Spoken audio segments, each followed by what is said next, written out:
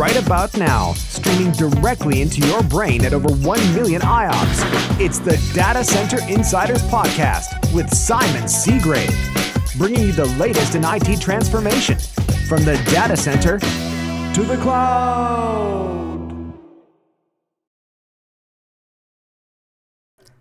Hi, and welcome to this latest episode of the Data Center Insiders podcast. I'm your host, Simon Seagrave, and today I'm joined by my friend and colleague, Itzik Reich. Have I got that right? yeah, awesome, Simon. Not too bad. I'm, get, I'm, getting there. I'm getting there. So, um, uh, Itzik is the CTO for the EMC XtremIO product. And um, Itzik, to, to kick things off, um, can you give a little bit of information about yourself? And uh, from there, we'll go into sort of like a high level overview of what XtremIO is.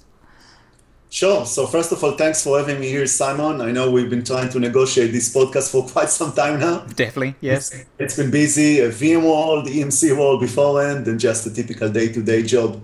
Um, so yeah, my name is Itzik Reich. I'm the CTO for XtremIO. I actually joined EMC back in 2007, so it's been almost eight years now.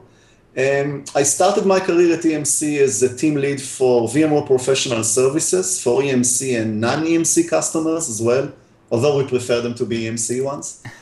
And then, like you, I think we both moved together to the vSpecialist role. We did, yeah. That's when we uh, worked together for about a year or so. Yeah. Yes, the good old days. Oh, yes, yes, a while ago now. yeah still, I think it's uh, almost feel like a family even today. Oh, it is. It is. That's that's why I like catching up with a lot of sort of uh, people that I've worked with, such as yourself, in the past. It's a great opportunity. Yeah, it's amazing to see how we all scattered around the company in key roles.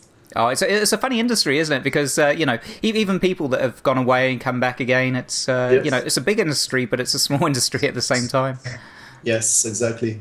And in June 2012, I got a phone call from XtremIO uh, remember, EMC purchased uh, XtremIO as a startup in May 2012, so a month after the public acquisition, I got a phone call to come and join a POC uh, for VMware as a customer in Cork, Ireland. And I never say no to uh, Murphy's uh, or Guinness beer. so, uh, so I flew over and honestly, and I'm of course I'm biased, and I'm also a marketing person, but honestly, uh, my mind got blown by the technology back then. Uh, we were still an alpha product, not even a beta one. And but I was doing POC for VDI for VMware again as a customer, and as a person that worked as a specialist before, VDI was kind of my thing at the time. And I got blown by the technology itself. I couldn't believe how fast it was to deploy VMs, how fast it was to boot VMs, how fast it was to configure the volume. So everything that I knew about the traditional storage had to die. And as a cynical person and as a skeptic person as well, it was really difficult for me to forget those things. So I literally stayed there every day until after midnight, just trying to break the system and see. I mean, looking for the catch, if that makes sense. Yeah, and, yeah. And, and did you find one? Uh, no. Uh, luckily for me, the, the canteen was still open back then in Cork, in the VMware headquarters. So I was eating a lot of uh, cereals at the time. And, uh, you know, I did have the chance to, to drink Murphy. So that was good. Oh, that was good. That's always a bonus. That's always a bonus. And in December 2012, I got a request to join Extreme XtremIO as a corporate SE. Um, I immediately say yes to, by the way. And I started my career there as a corporate SE, basically pre-sale for customers across the world. And also I started my integration with the research and development team basically as a liaison point between the external field to the back office, to the R&D teams inside the XtremIO offices. Uh, then I got a job request to join to uh, the CTO office as a field CTO, which I did for a year and a half. And today I'm actually the CTO of the group. So I'm running the solution teams, I'm running the technical marketing teams, and I'm still uh, acting as a liaison point between the research and development team to the field. Now, the field in that case is uh, SEs, customers, and even other EMC internals. So we're working on a very joint collaboration between XtremIO to other BUs at EMC uh, which is again something very beneficial for me because of my knowledge in other EMC products. So because we were vSpecialists, we never focused on a single product. So we had to really know everything, if that makes sense. Yeah. So yeah, so for example, I'm working a lot with the VSI plugin team, with AppSync, with the RecoverPoint team, all of those things that uh, I gathered the knowledge uh, for many many years working for EMC. That that's really what I'm trying to bring back to the company now. So De- definitely. Well, it's been quite a quite a rapid rise for you, really. Um, you know, up up to your current position at the moment, and uh, you know, the, the, it's an exciting product, and you know that's why I've been very keen to get you on on, on here to discuss it some more, and uh, you know to to inform folks out there listening to this, uh, you know, as to what XtremIO is.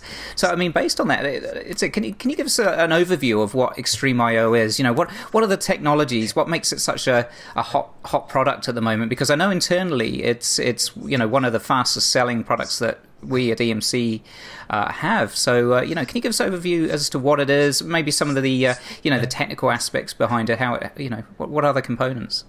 Sure. So first of all, XtremIO is an all-flash array, meaning that we don't have any mechanical drives inside of the array itself. Uh, but there are many other all-flash arrays as well. So what is the magic, I think, is really the, the, the question that you're trying to ask. So in the very core architecture itself, we are what we call a category two architecture, which means a, scale out architecture, but a tightly coupled architecture. So unlike uh, ScaleIO, for example, that I think you interviewed a couple of uh, weeks or maybe months ago, uh, we do not scale to hundreds of nodes, we scale to tens of nodes. Uh, but still, the, because of the tight, tightly coupled architecture, the performance is linear. So the best way to think about scale Scale.io is like a Lego building block. You start with one, which has a known capacity and quantity, and in the case of uh, All-Flash Array, also performance characteristics. And then if you want to grow your capacity and performance linearly, you just add another Lego building block, or as we call it, an X brick, to the cluster. And now you have two Lego pieces inside of the clusters that are really sharing the performance and the capacity between themselves. Now, scale out is nothing new to our storage, right? The VMAX has been doing scale out for years, and NetApp has been doing scale out with their cluster mode. We differ, for example, from a NetApp uh, scale out mode by the fact that the capacity is automatically spread across all the available uh, bricks in the system, but moreover, the performance. So there is never a place where a volume is owned by a specific controller or a storage processor or an engine or whatever you want to call it, which is really the same. Yes. The compute that deals with the storage. And because everything is spread across all the available controllers, there is no bottleneck in the system. I mean, if there is a bottleneck, it's probably on the system level that you reach the maximum uh, performance characteristic of the cluster itself. In now, which case, at which time you just add another X brick into the to the mode again to scale it out, like you say, linearly. Exactly. So in our case, um, the scale out gives you many benefits. From a performance matrix, we've already discussed those, but from a system administration perspective, which is really my personal favorite feature on the product itself, I didn't start my career as a storage admin. In fact, I'm not a big fan of storage in, uh, in general. I started my career as a virtualization person, right, with vSphere. So to me, the ability to not tweak the system or to not need to think about RAID groups and or pools or caching or anything of that nature. Basically, everything is done internally by the system. You always get better performance than RAID 10, same capacity overhead like RAID 5 and RAID 6 HA capabilities in terms of the drives well, that means that now you don't need to do really anything on the system. You just need to carve up a volume, present that volume to the host, and that's it. You are not faced with questions like what should be the RAID type. And let's face it, even in, in traditional arrays, if you start with your product and you know what volumes RAID they should be carved up based on, how can you be sure that that's going to be the workload of tomorrow, right? I mean, VMware moves everything with storage vMotion, so maybe you put an Oracle databases that required RAID 10 to start with, but now Storage vMotion will move them to another RAID or to another volume group. So those are uh, really big benefits for me as a system administrator and for our customers that are using XtremIO. There is nothing that you need to configure is there, is, sorry to interrupt there. It's like, is there any ability, you know, for the hardcore storage admins maybe listening to this, is the the, the ability to so, sort of go into an expert mode and really get under the hood with it and sort of tweak and adjust things, or is it literally a, a something of a sealed unit? You know, once you get up and running, it's got all the smarts, you know, all, all you know, it's got, it's got the intelligence really to work things out and you know, and, and you just set and forget basically? Yeah, so so it's a good question. I mean, we have what we call more or less like a simple and advanced configuration. So advanced will give you more questions to answer. So for example, if you carve up a volume, you can also tag the volume.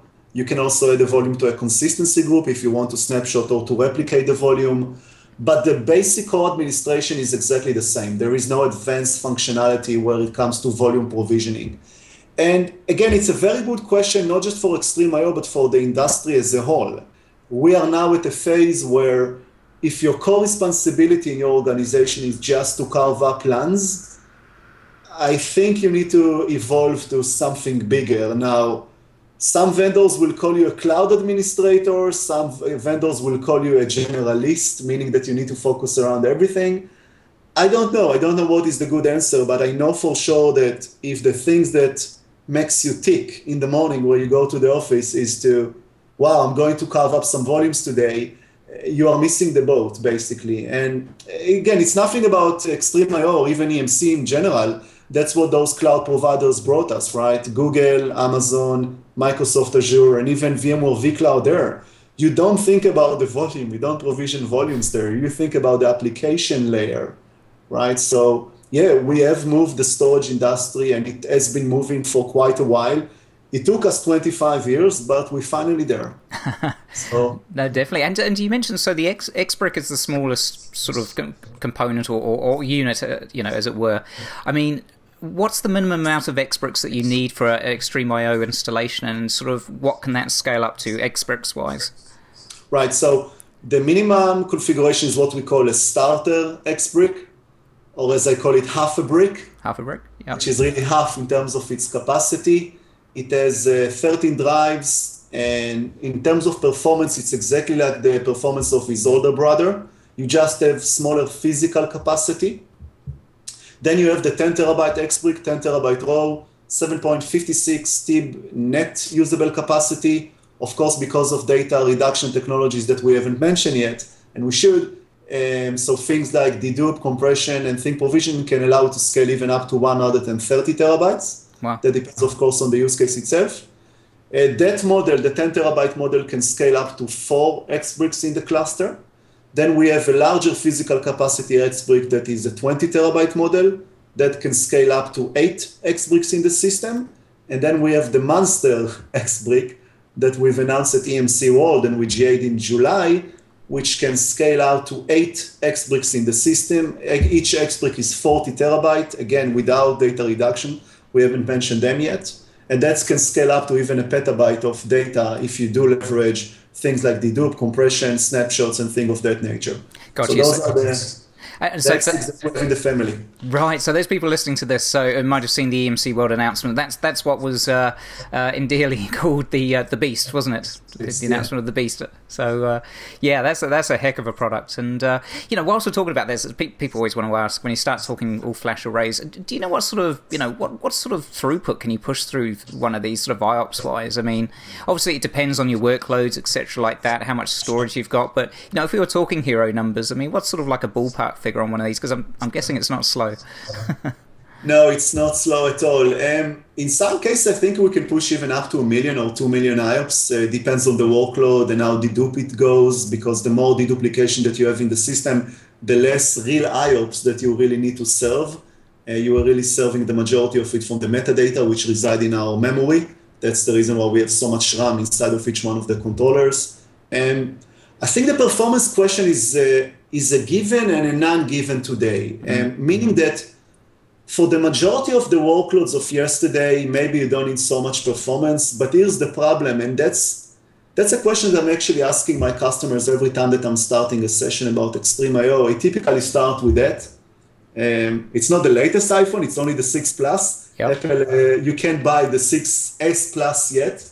But the question that I'm asking my audience is, uh, why do you keep upgrading your smartphone device every year or so? And the cynical answer will that to be will be because I want to be a buzzword compliant. Right. I want to always I want to always have the latest gadget. But the real answer is that the moment that Apple or, or Galaxy with Samsung or any other uh, Android device comes with a new device, that's the moment that suddenly your device operation system is not behaving as it should. So iOS becomes a bit sluggish. Maybe you get complaints from your wife or your better half about the fact that WhatsApp is not as fast as it used to be before. And it's true, it's not a conspiracy. It's basically the fact that if you are a cell phone vendor, you want to make sure that the new hardware that you just announced knows to leverage the operation system that you just announced as well. So compare this to, uh, let's say, a database. What will happen if you give your DBA so much performance? Do you really think that they're going to tell you, oh, please take away the performance for me? Right? It sounds it sounds silly to even saying it out loud because it is. and of course, the answer is no. The, the answer is that they, the day one, as we call it, they will get very excited by the performance characteristics and by the other features of, of the platform as well. Day two, they will take it for granted. And day three is maybe you can guess. yes, yeah, they'll always take as much, you know, performance uh, that, that, you'll give them. Yeah, yeah, it's a slippery slope at that point. You almost want to yeah. uh, oh. eke it out, as it were. Yeah, exactly. Day three, they will ask for more. Yeah. Right. They will tell you, "Oh, I need more capacity," or "Oh, I need more performance." And actually, it's something that we're starting to see in our customers as well, right? We give them like a, a large Xbrick configuration for their databases where maybe they don't need so much performance, but they are already thinking and, and doing ways and doing things with the platform that they didn't think about it when they initially bought it for, if that makes sense. So yeah, yeah, th- this is where we are today in terms of performance and where the market is uh, actually going. So speaking about that, it's not just about the numbers of performance; it's really about everything else. Um, so we, we started to mention data reduction. So deduplication compression for us is something that we always do inline. There is never a point in time where we throttle dedupe or compression um, because the system cannot cope with the load, like many of our other uh, friends in the storage industry are doing. Uh, why are we not doing it? Why don't we throttle down dedupe and compression? The answer is simple. We have enough compute in the cluster to do deduplication and compression in real time Hence the reason why first we are an active-active array. So even if you start with a single Xbrick, both the controllers are participating in this I/O breaking, and of course when you scale out, that, that holds true as well. So everything that we do is done in real time, and that's also allow our customers to do many many things that they didn't think before. Right, right. That's interesting. So, sort of uh, another question for you. I mean, obviously, XtremIO. I mean, like I said, exciting products and great technologies there. You know, you're talking flash, inline deduplication, compression. You know, some some great stuff there. And also, you know, like you say, you can start from one X brick or half an Xbrick and, and scale up uh, from there obviously we've got other storage offerings as you know as uh, within EMC. You know, we're, we're, not just a storage company; got other offerings as well. But you know, obviously we sell other other storage products there. How does XtremIO fit into the overall portfolio? Um, obviously, we sell sort of you know more traditional, um, you know, scale up type uh, storage solutions such as VNX, etc. Um, so how, do, how, how does XtremIO um, you know work work within our portfolio? So I think that is actually the answer why XtremIO agreed to be bought by EMC. So that's another scoop. There were many other companies that fought for the princess. Um, and the answer was ecosystem integration and the fact that EMC is a very good company when it comes to acquisitions, right? They really know to integrate the product well into the rest of the portfolio. And XtremIO is not a one trick pony. So I can give you an eye overview of where we integrate with EMC. It's actually, as I mentioned before, part of my role. So for example, let's start with the big things. A replication for XtremIO, we do via RecoverPoint, right? So for those people who are not familiar with RecoverPoint, think about RecoverPoint like a TiVo or whatever device that you're using back then in the back there in the UK. So you can go back point in, in time to the point where you you can actually see the recording or the transaction level, if that makes sense. So RecoverPoint can be bought either as a physical or a virtual appliance. And the best way to think about it would be like a scale out for application. You can buy a single RecoverPoint or scale out. And if your volumes needs more power in terms of replication itself, you can have multiple RPAs that can tackle that volume performance characteristic where it comes to replication. So the question is, why don't we uh, maybe replicate internally, natively with XtremIO? And the answer comes back again to performance your core storage controllers needs to cope with the load of the primary IOPS, and now they also need to cope with the load of replication. and you don't buy all flash array to make it slower than a hybrid array. And the reason why scale out replication is the good way of doing replication for the large customers, right? Small customers may actually need internal replication. They, they, they can today achieve with things like recovery point for virtual machines and so on and so forth. But recovery point is a good example. Now, it's not the traditional RecoverPoint uh, solution. We don't use what we call a splitter. We don't split the I/O. What we do is really try to do what we do best, which is snapshots that I'm sure we'll discuss in a second. But we offload those snapshots to RecoverPoint, which then in return replicate them to a remote array. Now, the remote array can be pretty much any array that recover points support. So think about it for a second you can have XtremIO at your production site, but you can actually maybe replicate to a VNX at the remote site because maybe you do not need the performance characteristic at your DR site, or you don't have the budget to pay for an all flash array. And you know, as much as we love to sell your all flash array for your production, the recovery site, if you don't have the business justification to do so, do not buy an all flash array at the, remote site. So it's the heterogeneous environment of recovery point and our integration to it where it comes to the portfolio of replication at the EMC portfolio. So that's one example where we can actually integrate to another replication solution and actually replicate to another storage array that is not even XtremIO, right? Many, uh, maybe even the majority of the all-flash arrays force you to replicate to the same all-flash array at the remote site. Well, why should you? you? Right? Again, it's a DR site. You do not always need the same performance characteristics. So, this is so this is ideal for those companies out there, perhaps you know upgrading their storage. They upgrade to XtremIO. It means that they don't need to mothball their old storage they've got there. They could move it to their DR site across town, spin it up, and just use that as the DR site. So yeah, no, that's good. That's good. Exactly. In fact, we have many customers that done exactly that. They purchased a VNX maybe a year ago, and you know the storage performing good. Uh, you have many many years of maintenance you don't want to return back the array. You want to leverage it. You want to keep the TCO, right? The storage is an expensive thing to buy. So yeah, they move the, the storage to the DR or to test and dev, and they're replicating between XtremIO using recovery points. So that's again a very good value. Um, the other things will be uh, smaller things like maybe the ViPR controller, right? So ViPR is a self-service portal that allow you to provision uh, snapshots, do many, many things with many EMC and non EMC products. The logic behind the ViPR controller is that it is not the data path, it is the controller path, the management path, which means that if you have a large site, or maybe a site with many storage products, EMC and non-EMC products, you do not want to manage them separately. Maybe you don't have the, the force to do so, or maybe you just couldn't be bothered with learning management interfaces of many, many products. So you can put the ViPR controller in, and ViPR becomes your management portal to the world. In fact, you can even give your users the ability to log in into the ViPR controller and just provision storage as they want from it. So again, another integration point with the, with EMC. Then we also have the smaller things. So things like the VSI plugin, which I'm very passionate about. I'm sure you are as well as a uh, specialist guy, right? Definitely, like yourself. I mean, my, my background isn't storage traditionally. I'm a, I'm a virtualization guy from way back. So yeah, the VSI has always been uh, pretty high on my priority list as well. Yes, exactly. So the VSI, for those audience that are not familiar with the product, it's a free plugin for Virtual Center.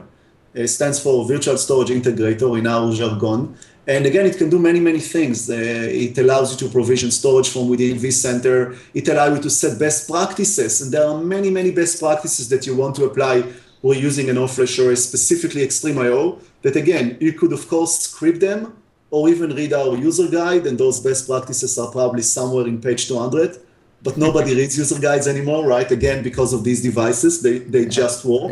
Yeah, the smartphone, yeah. There you go. So you just use the VSI to apply those best practices. And we even have special integration with the VSI that no other vendors has. So for example, we've mentioned RecoverPoint.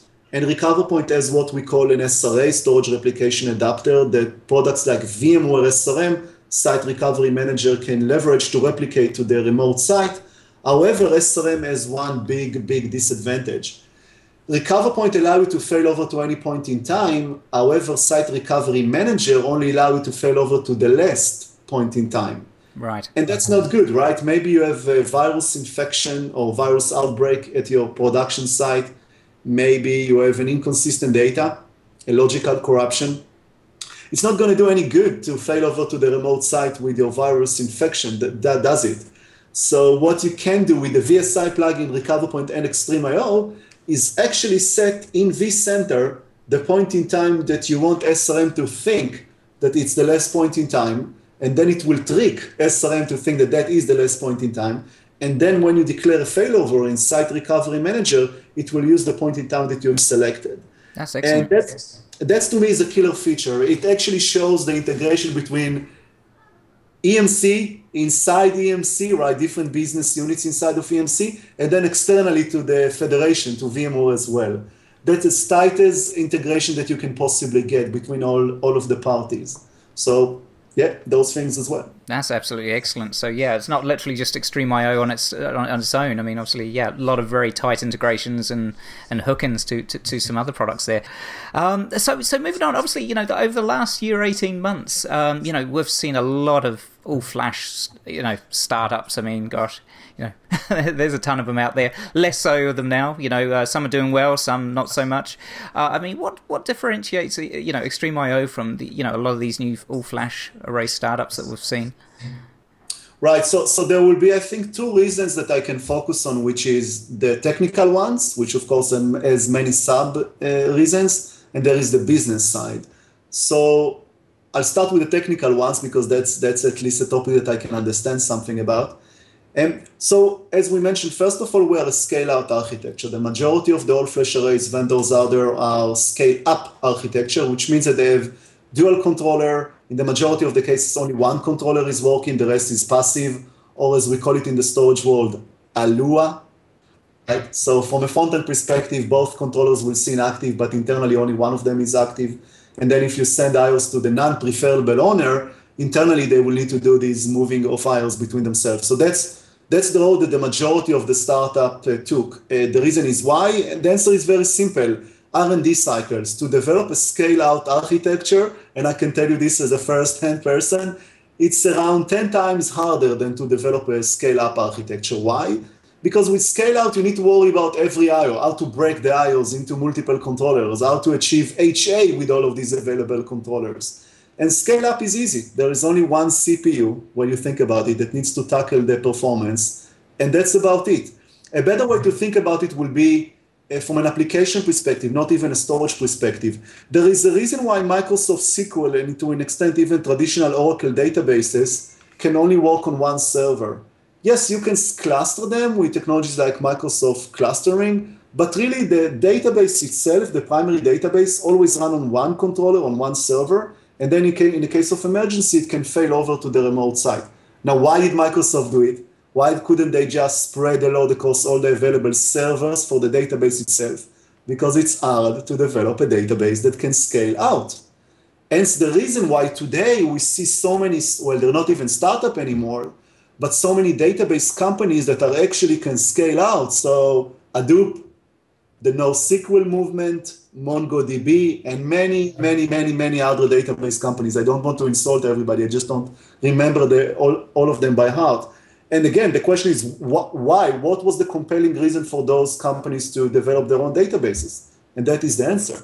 Compute today is cheap as opposed to the old days. So you want to leverage the compute in a scale out fashion as much as you possibly can but again, if you are a startup and you want to produce a product that will come to market in the fastest uh, possible way, that's the reason why so many of them are actually starting with scale up. So that's that's the beginning. And then many of many of the other startups actually adopted the hybrid world logic and just applied them to an all-flash array. And many of these reasons, by the way, are not even familiar things that our customers are familiar with. So, for example, metadata right? In our case, metadata is served from RAM. That's the reason why we have so much physical memory inside of each one of our controllers. And people will ask, well, why do you need the metadata in memory? Why can't it just reside on the drives? And the answer is, as much as SSDs are fast, memory is like 100 times faster, and it will always be like that, right? It sits inside of the controller on the PCI bus, can't go any faster. So metadata fetching from XtremIO is always done for memory, and the user data itself is being fetched from the drives themselves. So that's another key advantage that we have that from a user perspective gets into uh, the translation of uh, performance, predicted performance, which is something that many, many vendors out there are failing to achieve. And it's something that is very easy to test, by the way. You just need to run a consistent test for hours, and then you will see weird peaks in, in other products.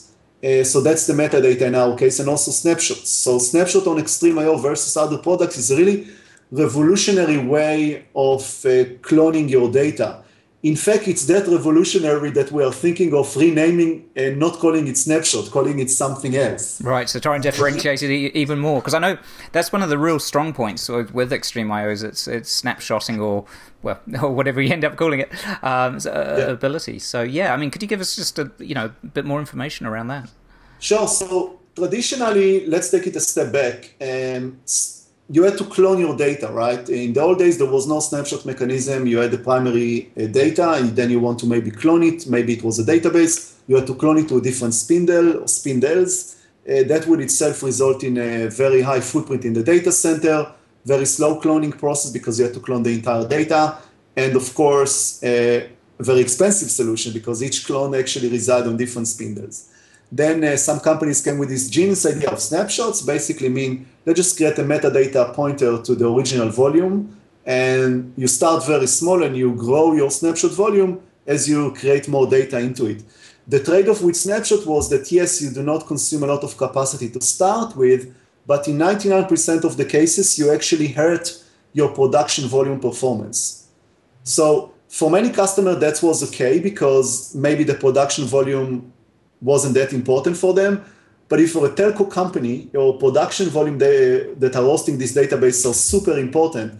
You cannot harm them in any way, shape, or forms where it comes to performance. So they to again shift to clones as well. And that's the reason why cloning exists even today, which is amazing just to think about it. And what we said is that because we dedupe everything in the system and compress everything in the system, and metadata is always in memory, for us, and that's a secret, not so secret, snapshot is just like any other volume in the system. It doesn't hurt your production volume performance, it doesn't consume uh, capacity to start with. And even when you write capacity into the snapshot or snapshots volumes, it's only the unique and the compressed capacity that is actually getting written. So that gives our customers a huge opportunity to really start thinking differently about uh, cloning or, or snapshotting their environments, whether those are just VMFS data stores that they want to maybe take uh, 60 snapshots a day and restore from any point in time that they want to natively on the XtremIO array. But the more important use case is actually databases. For the first time in the storage industry, you can actually take a snapshot of your production database and go crazy with that snapshot and you know mount it to your test and dev environments uh, 50 times. Uh, in fact, the number 50 times is not an accidental number. Uh, so you're from the UK, right? Yep. So up, up in Scotland, we have a very uh, favorable customer known Baillie Gifford. Uh, Baillie Gifford the, is an investment house located in Scotland.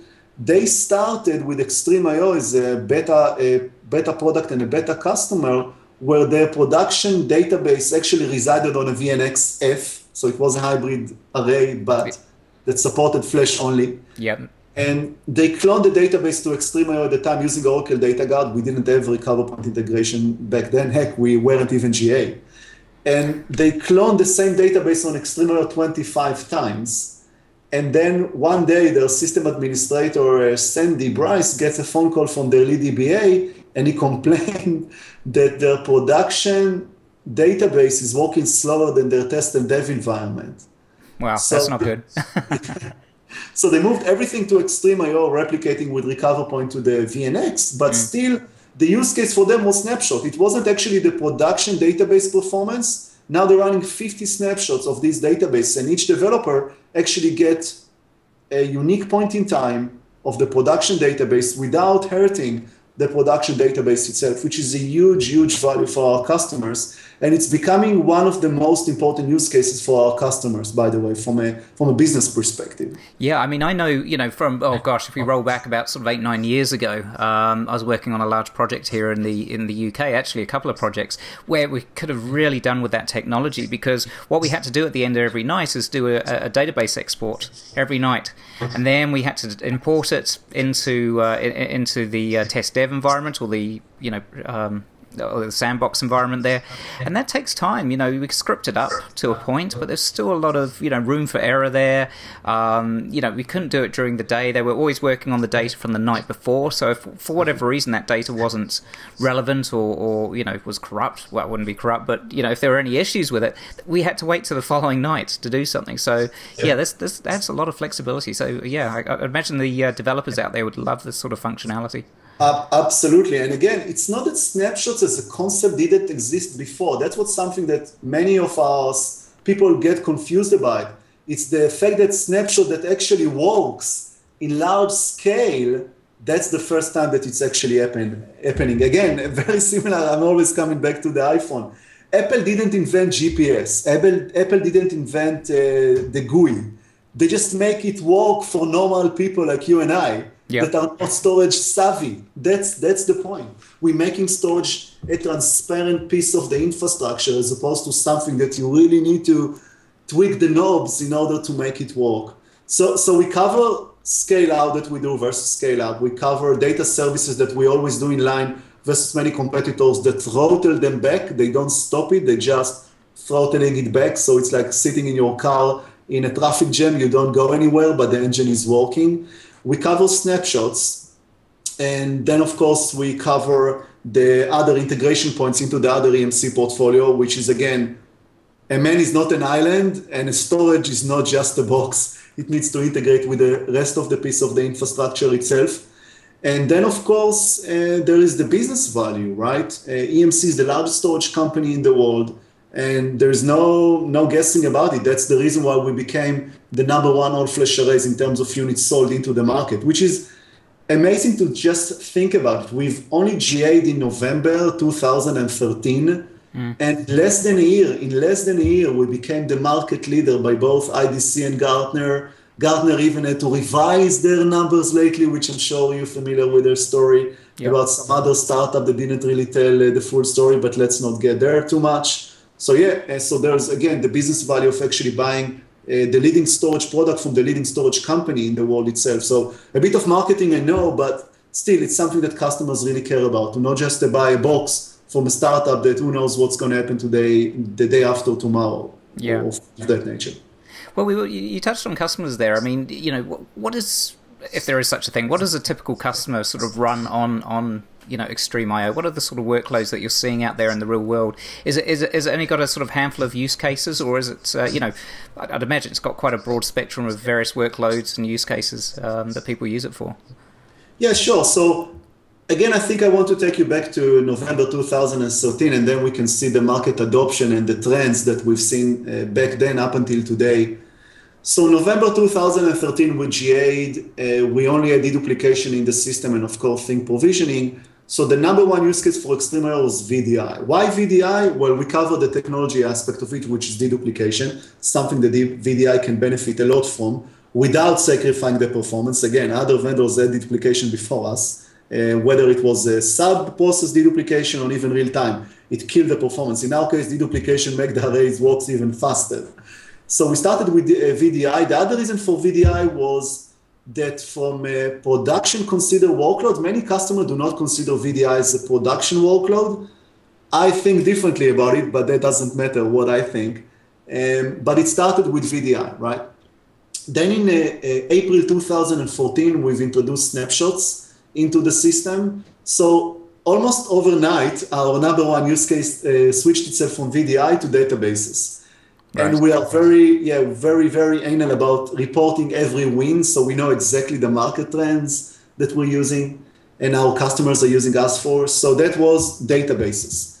Then in September 2014, we've introduced compression into the system and something new happened. So as of Q3 and Q4 2014, we are starting to see more and more customers that are just using us for a generic transactional workload. So if I will actually use Baillie Gifford as an example, they started as a database customer. Today, they're actually using XtremIO for everything. So they have two data centers, and everything VMware moved to XtremIO across two sites.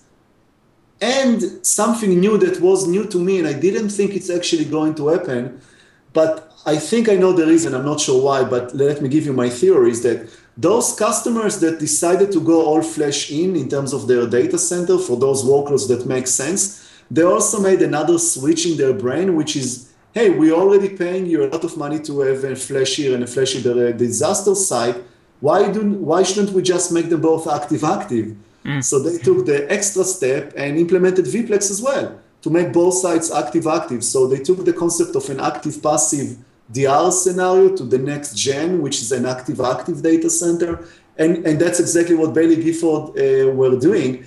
And the thing is, they are not the only customers who, who are actually doing it. I think it has to do with the psychological uh, shift that you're making in your brain. Yeah. And once you let you know all the walls go down, you're taking it the extra step, and that's really becoming a true active active data center with XtremIO, vPlex, a ViPR controller to, to provide self-service and things of that nature.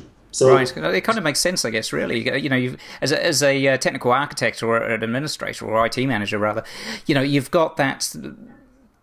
It's easier to sell, isn't it, when you're after budgets? That you know you've you haven't got all this hardware just sitting in a data center, just sitting there just in case. The fact that you're sort of sweating your, your hardware at both sites, um, whilst whilst providing uh, full resiliency, uh, you know, that's that's that's a good thing. Yeah. Yeah, and, and I also want to give the other side to it because obviously I'm biased and obviously I will tell you that everything needs to go to XtremIO, but I won't. So how can you tell if your workload should go to XtremIO? Maybe it should go to a VNX or a VMAX and other arrays of that nature. So first of all, from a TCO perspective, just dollar per capacity. I'm not even talking about dollar per performance or dollar per floor tile. You can use our free utility called Mitrend Capacity Estimator and it can scan your existing data set, whether it's virtual or physical, and it knows to take into consideration deduplication, compression, and thin provisioning. So it will tell you how much capacity uh, it will take should you decide to move your workload to XtremIO. Right. And where can people uh, get this tool there, So it's a tool that an EMC SC needs to run. Uh, the portal is mytrend.emc.com. It's a free utility. Then the SC, the EMC pre-sale stuff, install it in the customer site. It's not an installation, it's just a bin file that you need to execute. Mm-hmm. You probably need to wait for a couple of days, depends of how much data set you're scanning. Then you get a nice PowerPoint report, tells you exactly how much capacity you need to move to XtremIO should you decide to move your workload to XtremIO. What workloads do not or will not benefit from an all-flash array? So again, if let, let's cover them through the use cases. So for example, if it's a VDI, the VDI VM should probably reside on XtremIO because you need a very low latency and a very good performance, and deduplication is also very important. However, user data should not really reside on an all-flash array, any all-flash array. I mean, we'd love to sell you, Mr. Customer, an all-flash array to put your MP3 files on, but it doesn't really make sense, right? I mean, you don't really associate Word files or MP3 files or Excel files with very low latency. Mm need a lot of capacity. So in that case, we will probably integrate with VNX or Isilon to put the user data on. So there is always a case for hybrid uh, arrays as well in our portfolio, as opposed to just sell you everything with one product. Again, we're not a startup company, so we do not have a single product to sell you uh, the customer. Of course, uh, other cases like archiving, yes, you could archive your database on XtremIO, but it doesn't make sense. You should probably use another product like Data Domain, or maybe VNX and Isilon to archive your data, if, uh, because that will require a lot of capacity that you don't really need to retrieve in real time, and you don't really need the performance out of it. Right. right. Uh, other use cases, uh, we do not support mainframe connectivity.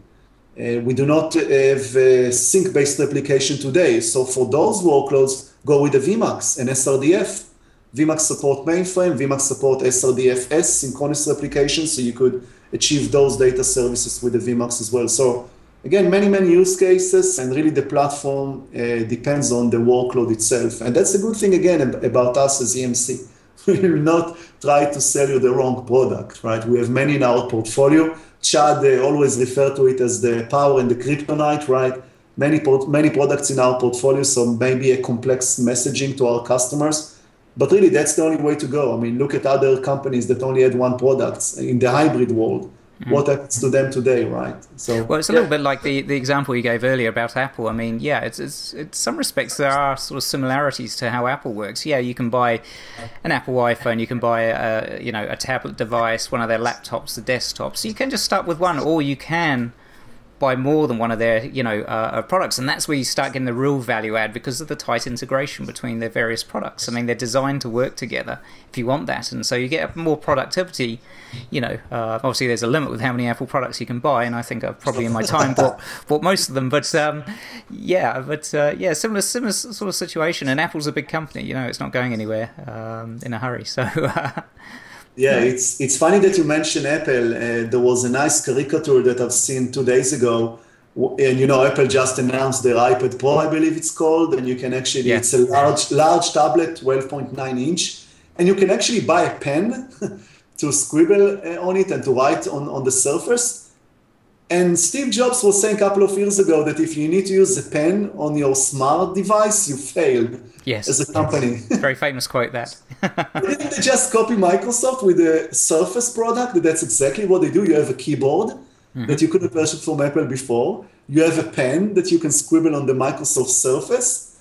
So again, it's I think it's the thing with startups, right? They have one product, and if you have one product, then everything else fails. Everything else shouldn't go there. You just have an iPad, and that that's it. But as, as of course we we see today, that is not the case. And even companies like Apple are trying to think differently, if I to quote themselves. Yeah, you're absolutely right quoting Apple.